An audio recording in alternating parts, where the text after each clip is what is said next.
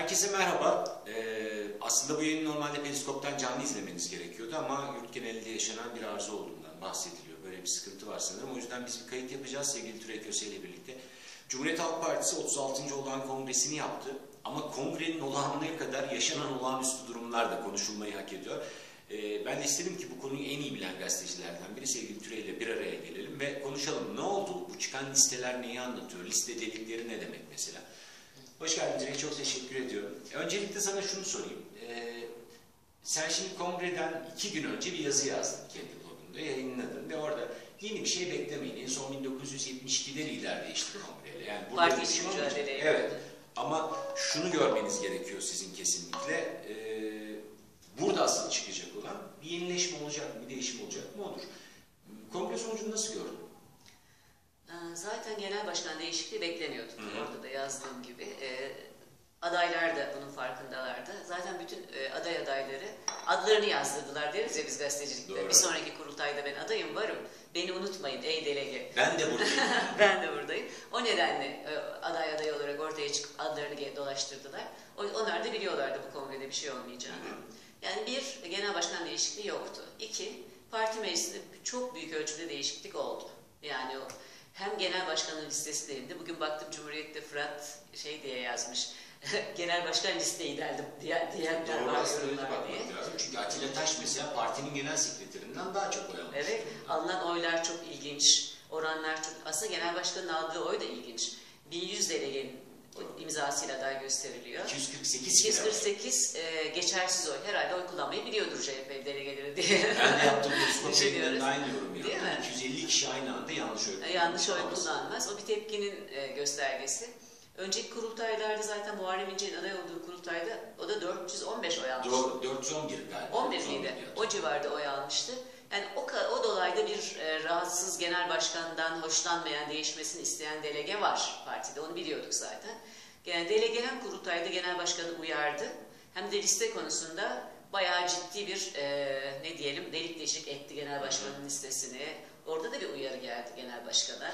Yani artık eskisi kadar rahat yürüyemeyeceğini gördü Kemal Bey bu kurultayda. Tülay şunu söylemek mümkün mü? Şimdi özellikle ilk 3 sıraya baktığımız zaman e, parti meclisine e, şunu söyleyelim yayının arkada anlatmıştım ya sen 52 kişi seçiliyor sonra 8 kişi de gençlik ve kadın kotasından giriyor yani 60 kişi öyle dolduruluyor. Ama ilk 3 sıra birinci sıra Selin Sayekböke rekor oyla seçildi. ikinci sıra Erdal Aksünger, üçüncü sıra Ali Özgündüz. Selin Sayekböke'yi dışarıda bırakalım. Diğer iki isim e, Üç Kasım- fikri sağlar değil miydi? 3 Ali Özgündüz, 4 Fikri Dört mü Sağlam. öyle mi? Diğer iki isim milletvekili yapılmayan isimler. Yani çok ciddi tepki alan, halbuki Erdal Evet. Aksünger aynı zamanda genel başkan, baş danışmanı, Hı hı. bu partinin seçimle ilgili yazılımını yapan kişi. hı hı. Ali Özgündüz hukukçu kimliğiyle çok öne çıkmış ve kamuoyunun çok benimsediği bir insan. Hı hı. Aynı zamanda bu e, iç güvenlik yasa tasarısında da en sert mücadeleyi vermiş isimlerden. Çok tepki almıştı. Evet. Böyle bir tepkiden de söz edebilir miyiz? Elbette edebiliriz. Ee, Erdal Aksünger bildiğim kadarıyla hani ön seçim olayı vardı ya, ön seçime girmek istemedi İzmir'de. İzmir'de. E, kontenjanlar da e, balkon sıra her yer dolu malum biliyorsun. Kontenjan kullanması kolay değil. Her yer dolu. O nedenle aday olamamıştı. Ona öyle bir pozisyon ayarlandı e, genel başkan baş danışmanlığı gibi. E, tabii ön seçim de dertli bir konu. Çok, Çok. tartışmalı bir konu. Bir yandan diyoruz parti içi demokrasi iyidir. Biz ön seçimi ben de kişisel olarak destekliyorum. Adaylar öyle belirlensin, örgütlensin. Fakat orada da delege e, o- öyle kullanmak istemedim ama delege ağalığı diye bir sistem vardı. Bir zamanlar çok ama. Yani belli daha güçlü odaklar, daha çok e, kaynak kullananlar diyelim kibarca. Yani delegede etkisi altına alanlar.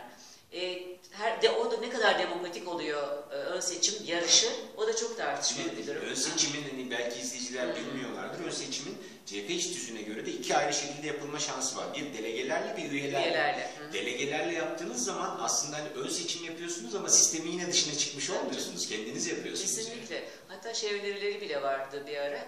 Ee, bu batı, e, kuzey ülkelerinde falan sanıyorum uygulanıyormuş. Ee, seçmenlerin de katılması. yani İsveç'te, Çankaya'da değil mi? Çankaya'da sosyal demokratların etkin olduğu, iyi oy aldığı bir ilçe. Burada çeşitli yerlere sandıklar konuyor. Milletvekili adayların belirlenmesine e, seçmen de katkıda bulunuyor. Gerçi burada Melik Gökçek belirleyebilir adayları diye. Öyle?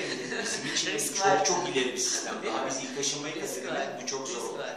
Yani o anlamda bir ön seçim hesaplaşması, ön seçim sonuçlarıyla ilgili de e, ya da milletvekili aday listelerinin belirlenmesiyle ilgili de bir delegenin tavrı, uyarısı, e, mesajı da olarak da okunabilir elbette.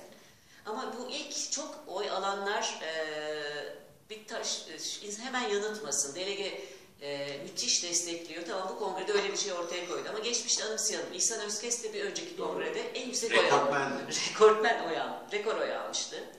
Daha önceki kongrelerden bilirim ben e, CHP, SPCHP tarihinde işte belli e, kamuoyunda ilk tanınan isimler iyi oy alır. Zülfü Livaneli en yüksek oy alırdı. Doğru. Ama partide böyle pek bir şeyle uğraşmazdı. Ya da aynı şekilde geçmişten bugüne en güçlü zamanında bile genel sekreter hep en düşük oylardan birini alır. Çünkü Evet. tepkiyi E çünkü örgütle en çok karşı karşıya gelen, örgüte para göndermeyen, ilçe başkanını görevden alan, il başkanıyla derdi olan. Kötü adam, biraz Kötü adamdır yani. Kolay değil örgütlerden sorumlu olmak. E, CHP'de de özellikle çok dertli bir konudur. E, onların en çok çizilen isimler olacağı sürpriz değildi. Ama bu kadar düşük oy alacağını bekliyor muydun? E, Çok düşük çünkü oy çok çok düşük. Şimdi Gürsel Tekin, ne bileyim Erdoğan Toprak aday bile olamadı, çekildi biliyorsun. Enis Berberoğlu, Enis Berberoğlu, Kemal Bey'in yakın çevresi bunlar. Faik Öztrak. Evet, Faik Öztürk ama şeyde yoktu anahtar listede Evet. değil mi? Anahtar listede yoktu. O sanıyorum ekonomi politikaları bundan sonra Selin Serkböke'ye em- emanet. O ortaya çıktı. Artık oy desteğini de aldığı için hani Evet. biraz da meşruiyetin de zaten. Tabii tabii. Yani için. demokratik meşruiyeti de oldu parti açısından. Yani delegenin desteği de arkasında oldu. O ondan sorulacak belli ki e, ekonomi politikaları. E, dış politikada bir eksiklik var sanki değil mi artık? Uzunca bir süredir vardı zaten. orada bir gibi. eksik var. Bir süredir Faik Öztürk o görevi de biraz üstleniyor gibiydi. Bundan sonra onu nasıl yürütecekler? Mesela emekli büyükelçilerden birileri olabilir listelerinde önünde olmadı. Tülay sana şunu çok e, açık net sorayım sen de öyle cevap ver lütfen. Geçmişten bugüne bu söylediğim formül CHP'de en çok uygulanan formül. Emekli büyükelçilerden hep e, genel başkan yardımcıları oradan oluşuyor ve onların ağzıyla geçmişte işte Onur Övmen'i gördük, Leoğlu'nu gördük, farklı isimler. Ama Murat Özçelik'in partiye getirilmesiyle birlikte özellikle dış politikanın Rojava olaylarıyla, Kürt sorunuyla çok iç içe geçmesinden sonra CHP seçmeni katı bir tutum sergiledi. Parti yönetiminden daha çok. Ve Murat Özçelik artık bu görevden ayrılmak zorunda kaldı. O zorunluluğu yaşadı.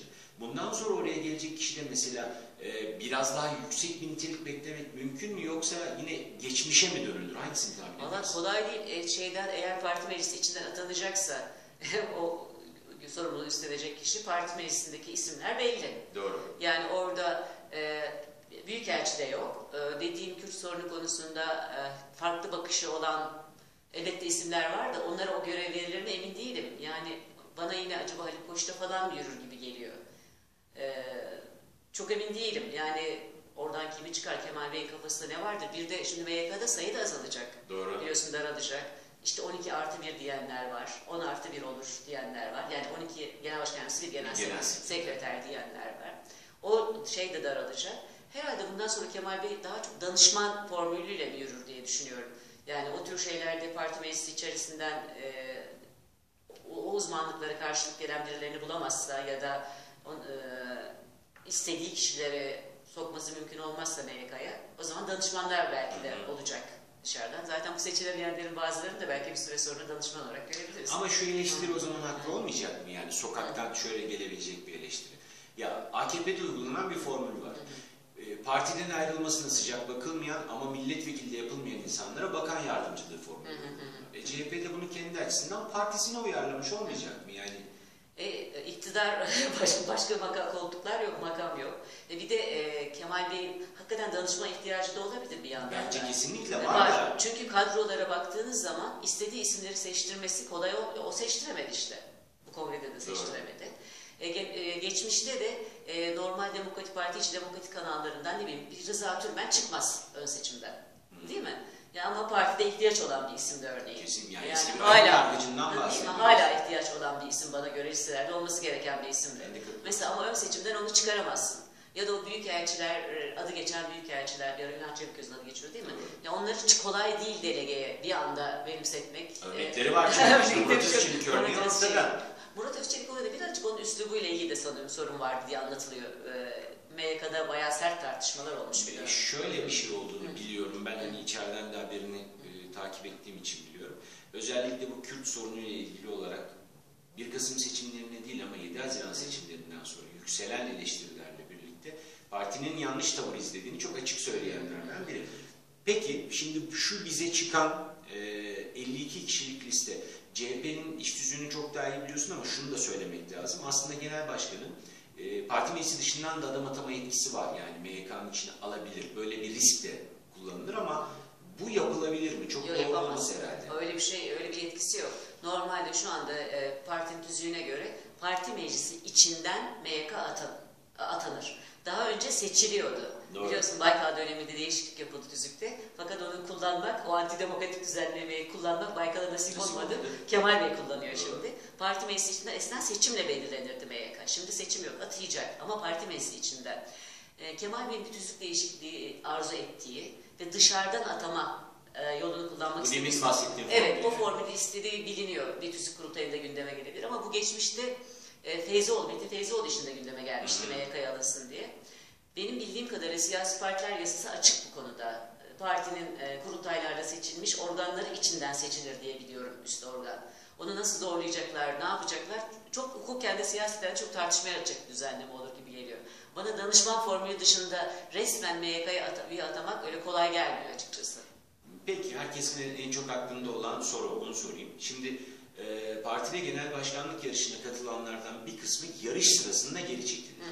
Yani ama önde kalan isimler oldu işte e, Mustafa Balbay bunlardan bir tanesi. Muharrem İnce ismi üzerinde çok tartışıldı. Kurultay günü benimle bir görüşme yaptılar. Bana genel başkan yardımcılığı teklif ettiler. Genel merkez yalanladı ama onun dışında da yarışa katılan isimler var. Umut Orhan mesela ben geri çekildim ama bu vazgeçtiğim anlamına Erteledim gelmedi. dedi. Erteledim dedi sadece. Başka isimler de çıkacak.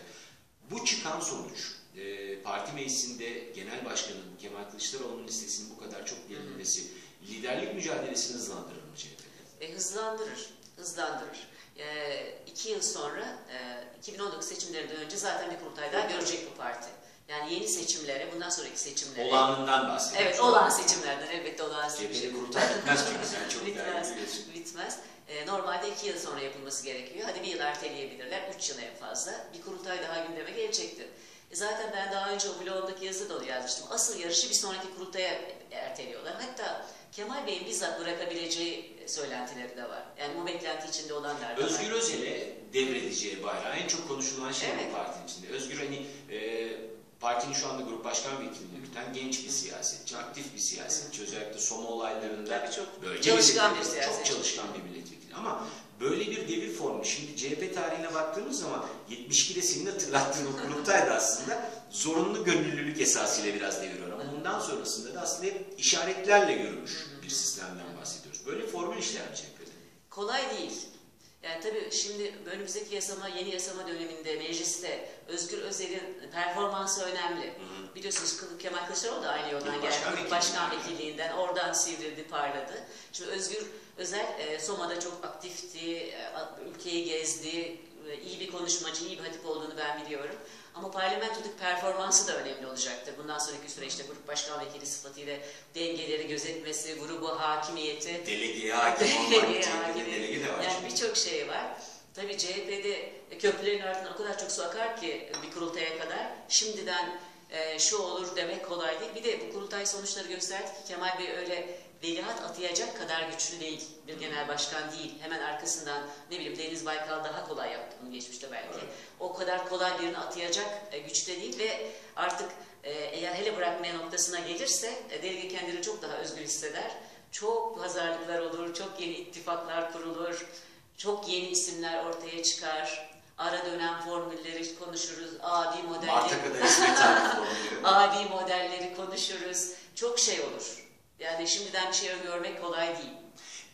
Baktığın zaman bu liste sana ne anlatıyor? Yani is- isim yapısının dışında aslında bir yandan da bir dağınıklık var. Var. Çünkü dediğim gibi hani çok farklı alanlardan çok farklı isimlerin de geldiğini görüyoruz. Ee, aynı zamanda ortak dostumuz eski Rütük üyesi Ali Öztunç mesela. Ee, Kahramanmaraş'ta seçimi kazanamadı ama CHP'nin oylarını ciddi biçimde Arttırdı, ve evet. bunu Anadolu'yu gezerek aslında farklı bir şekilde tabir etti ve parti meclisinin içinde listeyi delerek girdi. Evet, evet. E şimdi o baktığın zaman sana ne anlatıyor?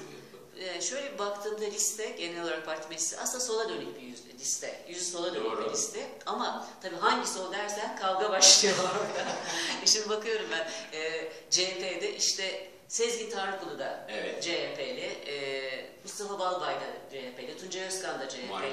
Ömer Faruk Emin Ağaoğlu da genel başkanını ihraç disiplin, kuruluna vermeye kalkışan, o da CHP'li. Eski Arslan Başkanı. Evet, e, o kadar e, Selina Doğan da CHP'li. Şimdi bunların o buluştuğu ortak bir sol e, kavramı olduğunu zannetmiyorum. Gülseren Onaş da CHP'li.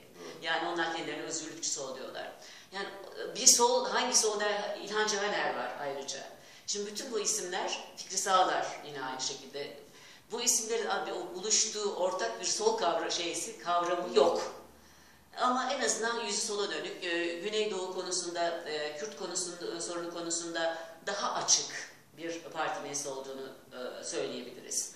Orada Sesi biraz daha gür çıkabilir mi Kürt sorunu konusunda? çıkabilir gibi geliyor. Yani en azından şöyle baktığım zaman o geçmişteki ulusalcı diye tırnak içinde anılacak isimlerin sayısı çok az artık parti meclisinde. Ya çok net bir şekilde söyleyelim. Çünkü partide son dönemde Murat Özçelik'in özellikle geri kademeye geçmesiyle sadece Sezgin Tanrıkulu bu konuda görüş bildiren Diğerleri de genelde o bahsettiğim ulusalcı refleksin içinde tepki veren insanlar. Tabii, tabii. Çok net ayrıştı. Tabii tabii. Şu anda baktığımızda ulusalcı denen isimler çok az bildiğim kadarıyla değil mi yeni parti meclisinde? Doğru. Hemen aklımıza gelen kaç isim var? Çok az. Yani geçmişte çok daha rahat. çok daha rahatsız. Şimdi sayacağımız kadar çok isim yok.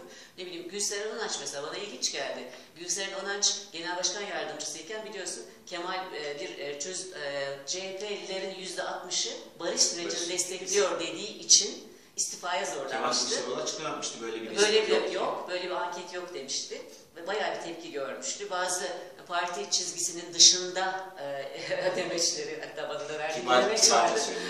evet vardı. sen, sen yapmıştın. Evet, Doğru. verdi. E, ona rağmen e, sonra bakıyorum bütün parti meclislerinde yer aldı ama.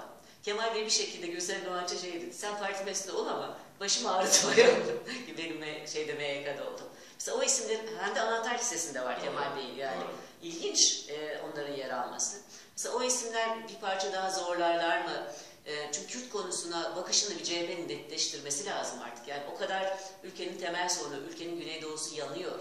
Orada bir savaş var yani adı konulmuş, hatta konulmuş yani bir savaş var. Şimdi böyle bir ortamda CHP bir şeyler söylemeli.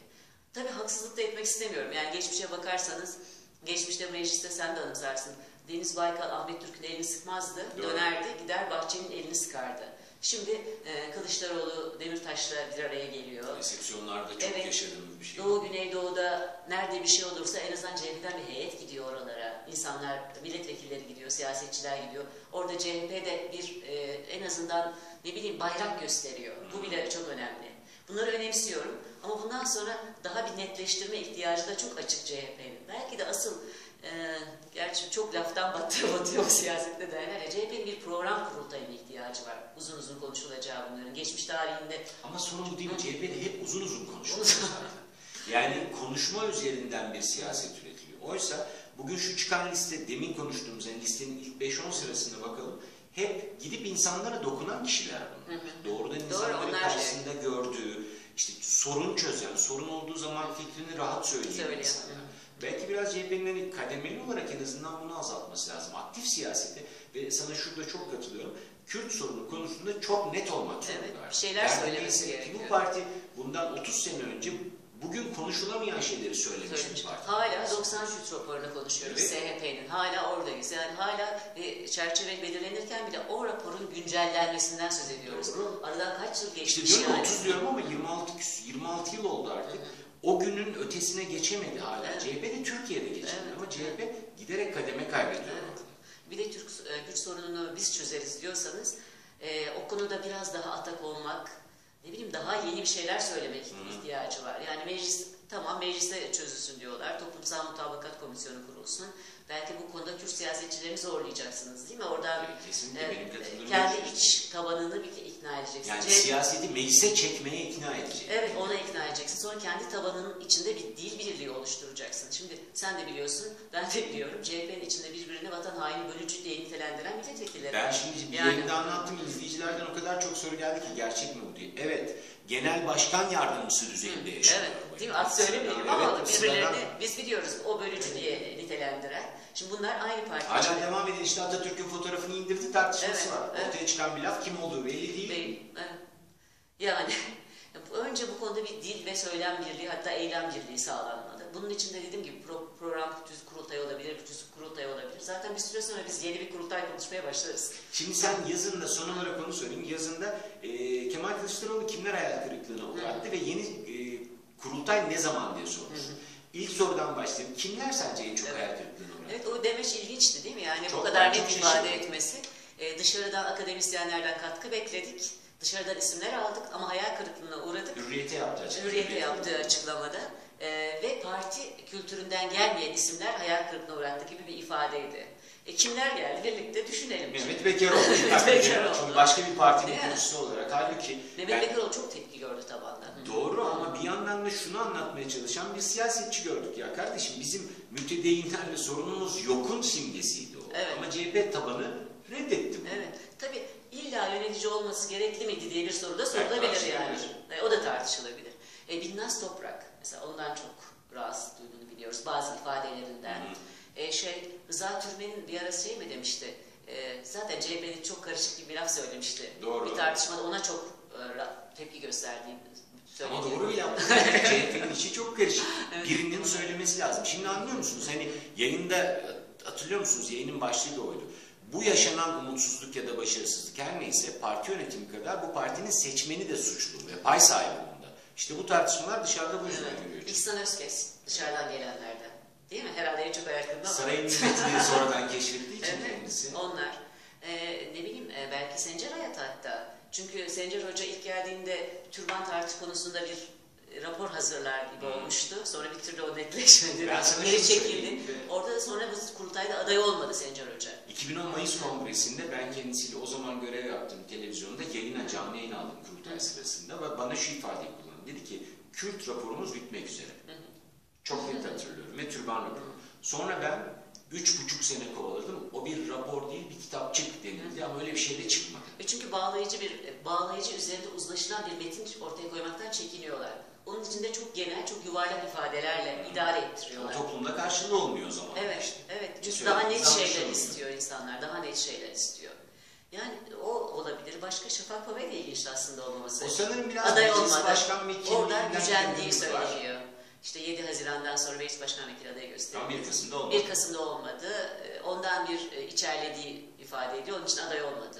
Şey, aslında ön milletvekili adaylığında da değil mi? En başta aday değilim dedi. Sonra Tabii sonra oldu. ikna süreci oldu İkna diyorsun süreci. Kemal Bey kendi aradı. Öyle bir süreç olmuştu. Yani herhalde bu isimler diye düşünüyorum dışarıdan gelenler. Ve dikkat edersen bu sefer fazla dışarıdan isim yok. Bu sefer de İşler Hoca vardı. Göz. Aydın. Anımsarsın seçimlerden önce İstanbul'da Kemal Bey'in üzerinde aday gösterilecek isim, işte Diyanet'in kitabını yazan e, akademisyen diye çok öne çıkarılmıştı İşler Göz Aydın. Fakat bu bilim platformundan girmeyi başaramadı. Gaye Hoca derdi. Gaye Sürer. derdi listeyi. O, orada o da gelemedi. Bir e, delegenin dışarıdan olana bir tepkisi olduğu açık oldu. Böyle delege de tepki gösterdi. Kem- Bütün bölgesel olarak çok ciddi e, mesela tepkiler olduğunu listeye şöyle bir baktığımda görüyorum. E, özellikle Doğu ve Güneydoğu'dan listeyi delmeye çalışanlara batıdan çok ciddi tepki olmuş. Oy vermemişler. Yani İstanbul ve İzmir'in oyları çıkmamış. Konuştum da birkaç kişiyle. Onların aldıkları oy, oylama listesinde çok ilginç bir şekilde tepkiler var. Bu aslında bir anlamıyla da riskli değil mi? Türkiye'nin ana muhalefet partisinde aslında kendi içinde böyle bir tepki yaşanması çok sıkıntılı bir durum gibi geliyor. Doğu Güneydoğu'dan Evet. olanların. Yani olmuştur. CHP içinde şaşırtıcı değil. O da başka ittifaklar da vardı. Kesinlikle. Sadece ideolojik Tabii, değil. tabii, tabii. Yani Peki e, şimdi o son soruya gelelim. Yeni kurultay ne zaman? Yeni kurultay zamanlaması e, işte Mart'ta diyenler de var ama o kadar çabuk olmayabilir. Belki sonbahara da kalabilir. Yeni kurultay tüzük kurultayı olacak. İşte Kemal Bey tüz- e, parti meclisinin sayısını düşürmek istiyor. 40'a düşürmek istiyor deniyor. MYK'ya işte dışarıdan üye atamak istiyor. E, Herhalde seçimler öncesinde bir yönetimde yeniden yapılan hatta e, üyesizlik sistemini e, daha sağlıklı hale getirmek Hı. için diğer üyelerin sıfırlanmasından söz edildi biliyorsun. Doğru. Altan Ömen döneminde olmuştu. Onlar tekrar başlayabilir. Çünkü sayım çok zorlanıyor yani. Ölü üyelerin bile hala Tabii, varlığını devam tabii. ettirdiği isimlerin Tabii kalması. bir İstanbul milletvekili şey demişti, ben seçimlerden önce İstanbul'daki üyelerin yarısına ulaşamadım dedi. Yani düşünün o kadar sıkıntılı bir durum. o nedenle bir tüzük kurultayı yapılabilir. Yani ama onun arkasından ne olacak şey konuşacağız bu sefer. 40'a indi bu parti meclis üyeleri. E, hadi bakayım yeniden seçim yapalım. E, yeni parti meclis seçilsin ona göre. E bunu aşmak için şey yapabilirler. E, tüzüğün en sonunda işte buradaki değişiklikler bir sonraki kurultayda uygulanır diye bir madde koyabilir. Seçim kanunundaki ben yapılan değişiklik bunda uygulanmaz. Uygulanmaz diyebilirler ya da tekrar bir olağanüstü seçimli kurultay tartışabiliriz. CHP'de her şey mümkün. Aşağı yukarı kaç kurultay izledin CHP'de? Şimdi atasaması çok zor. Valla Halkçı Parti, SODEP, e, Şunun Birleşme, için- ondan sonrakilerin hepsini izledim. Şunun için söylüyorum. Yani 36. olağan kongreden bahsediyoruz. Olağan Onların hepsini bahsediyoruz ama Şeyden, yeni açıkların açıldıktan sonra. aradaki olağanüstü kurultayları da aslında koyduğunuz zaman CHP ciddi anlamda kamuoyunda söylenen kurultaylar partisi sıfatını maalesef hak ediyor. Bu e, demokrasinin, parti içi demokrasinin iyi işlediğini gösteriyor. Tamam ama, ama şu soruda geliyor insanın aklına. Ya parti içinde demokrasi karşıtları bu kadar çok mu da böyle bir mücadele yürüyor sürekli? Yarış var daha çok değil. Ve her zaman söylediğimiz şeyi yine de bir kere daha söyleyelim. Her şeye rağmen AKP ilk kongrelerinde biliyorsun Tabii, tek aday. tek aday. Ve- ve bir kişinin de aday olması yasak. En son Kocaeli'nde değil mi bir kadın aday olmuştu. İhraç mı ettiler? Kalkış öyle bir şey. Yani Antep'te mi oldu daha önceden? Yani sandalyeler, masalar Evet, olmuştu. evet yani tek aday mecburiyeti olan şeydense, parti bir partidense yine de her şeye rağmen demokrasi iyidir diyelim. Kesinlikle doğru söylüyorsun. Tülay çok teşekkür Ben ederim. teşekkür Sağ. Ben teşekkür ederim. Size de izlediğiniz için çok teşekkür ediyorum. Bu yayını canlı olarak Periskop'tan izletmek isterdik ama maalesef böyle bir arıza, böyle bir sıkıntı yaşanıyor. O yüzden şimdi Medyascope TV üzerinden izliyorsunuz. Çok teşekkür ediyorum bizimle birlikte olduğunuz için. Tekrar görüşünceye dek hoşçakalın.